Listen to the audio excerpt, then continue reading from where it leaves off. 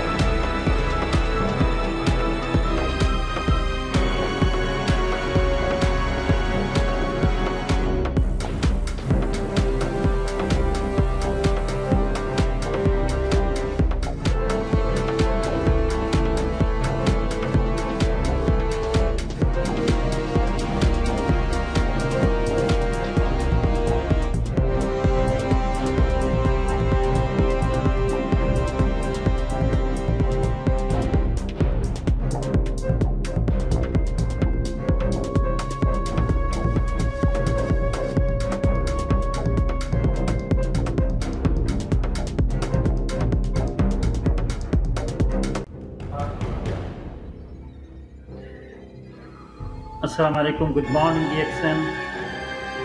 I'm Ghulam Sarwar Mohammed, and uh, we are going to explain today about uh, network marketing.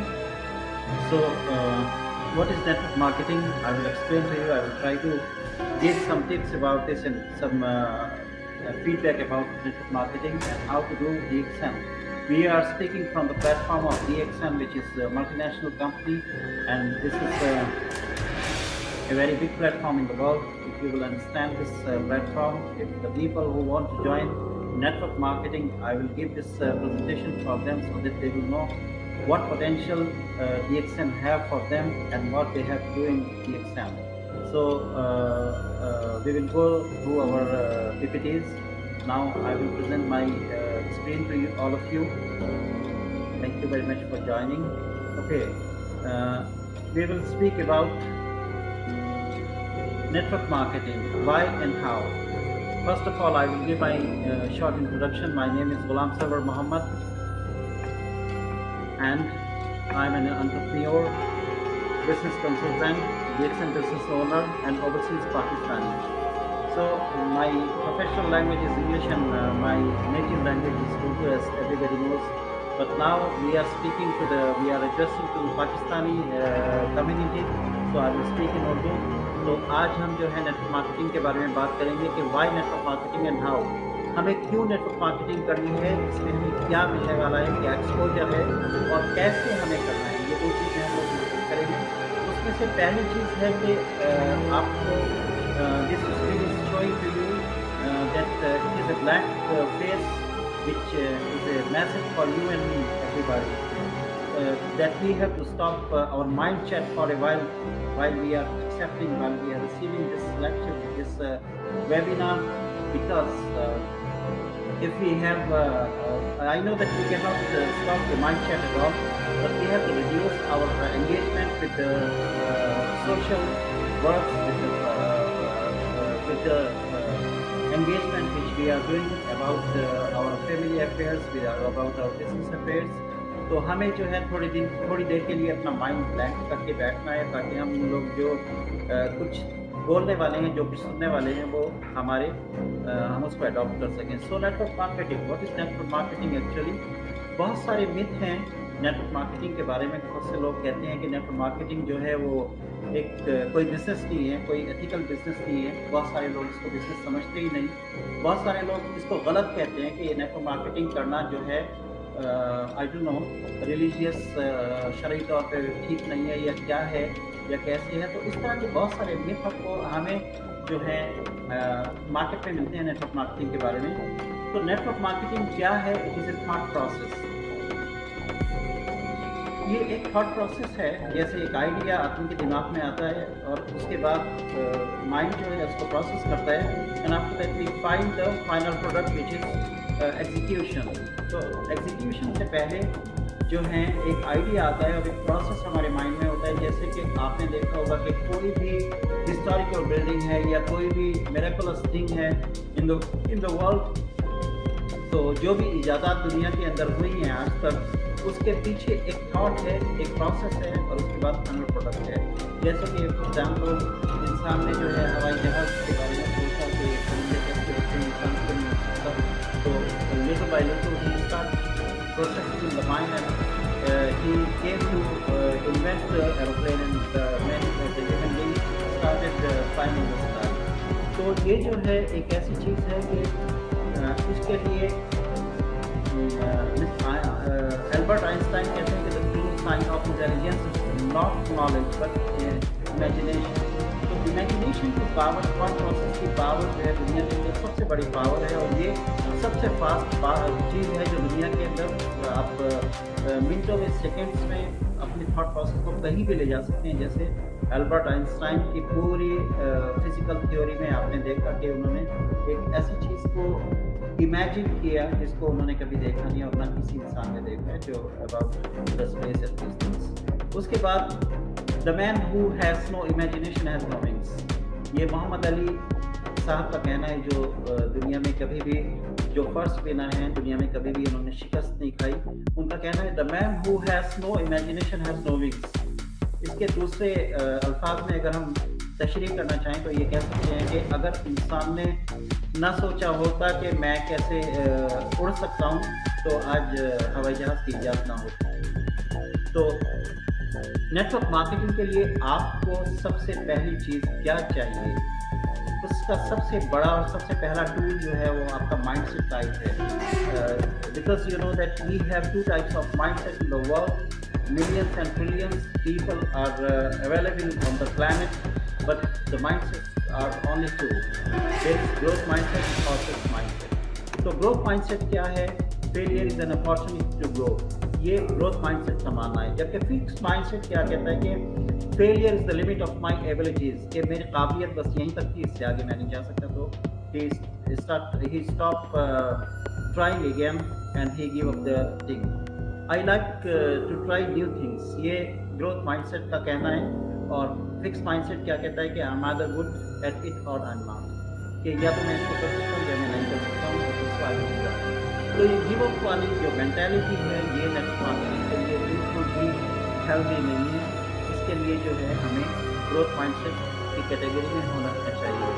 और जो कि बहुत ही ज़रूरी है, आप दुनिया के किसी भी काम में, किसी भी शोबे में आप जो भी काम करते हैं, उसमें कामयाबी के लिए आपको ग्रोथ माइंडसेट होना is your condition that you can touch the sky the sky is limit because if you have growth mindset, you can try it again and again, and you you will have consistency in your work, and you will meet the success one day.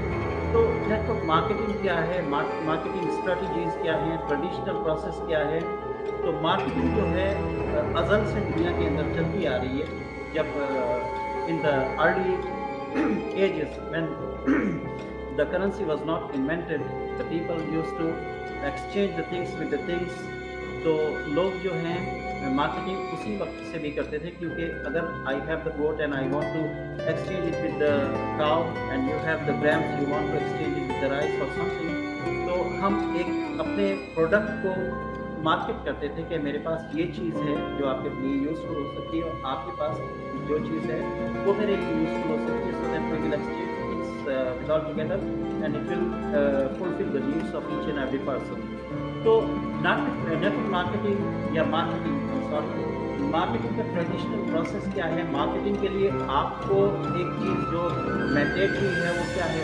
वो जो है product है। और product कैसे बनता है? किस तरह से मार्केट में आता है? हमें किस तरह मिलता है? रिलीज़ होता है। तो जैसे कि आपको पता है कि कोई भी प्रोडक्ट बनाने के लिए दुनिया के अंदर आपको सबसे पहले किस चीज़ की ज़रूरत पड़ती है? रॉ मटेरियल की तो रॉ मटेरियल सप्लायर ने अपना रॉ मटेरियल किसको सप्लाई किया? मैन्युफैक्चरर मैन्युफैक्चरर ने इसके ऊपर अपना प्रोसेस काम किया और फाइनल प्रोडक्ट तैयार किया। उसके बाद इसने क्या करना है? बिकॉज़ ये करेंसी सो तो उसने जो है डिस्ट्रीब्यूटर को कॉल किया, उसको बुलाया और डिस्ट्रीब्यूटर ने क्या किया कि जो प्रोडक्ट्स हैं हम अपने पास शिफ्ट किया और अपने यार्ड में रखा और अपने उनको जो है, आगे क्योंकि उसने आगे उसको मार्केट करना है and he exchange with the currency as well तो उसने होलसेलर या रिटेलर को कॉल किया और उसको बताया कि प्रोडक्ट मेरे पास आ गए हैं, तैयार होके तो होलसेलर ने उसको ले जाके अपने शोरूम के ऊपर, अपने डिस्प्ले के ऊपर लगाया और लोग उसको आके ख़रीदना शुरू हो गए। एंड इस पूरे प्रोसेस में क्या होता है कि ये ट्रेडिशनल प्रोसेस है कि हम जो साबुन, जो शैम्पू जो भी ज़रूरत का सामान दुनिया मार्केट से खरीदते हैं, वो इस पूरे प्रोसेस से हो हमारे हम तक पहुँचता है। उसमें उसका क्या इफ़ेक्ट होता है हमारे ऊपर?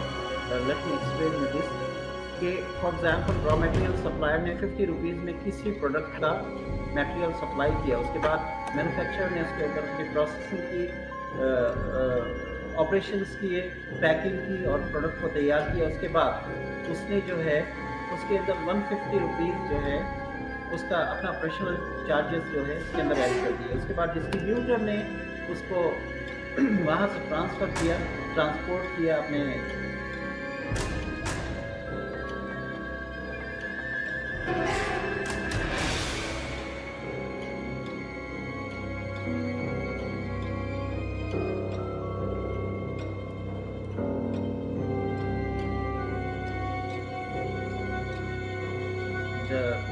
सीक्वेंस तो इस सब के बाद क्या होता है कि उसके बाद एक कंज्यूमर मैं और आप आते हैं और उस प्रोडक्ट को खरीदते हैं। लेकिन कंज्यूमर को वो प्रोडक्ट जो एक दो सौ रुपये में तैयार हुआ था, वो थ्री फिफ्टी में मिलता है। And at the end of the day the consumer has to bear all the expenses और ये सारे पैसे जो मेडोमैन के हैं मैन्युफैक्चरर के हैं डिस्ट्रीब्यूटर के हैं होल सेल रिटेलर के हैं एडवर्टाइजिंग के हैं, ये किसको देने होते हैं? कंज्यूमर तो ये ट्रेडिशनल प्रोसेस है।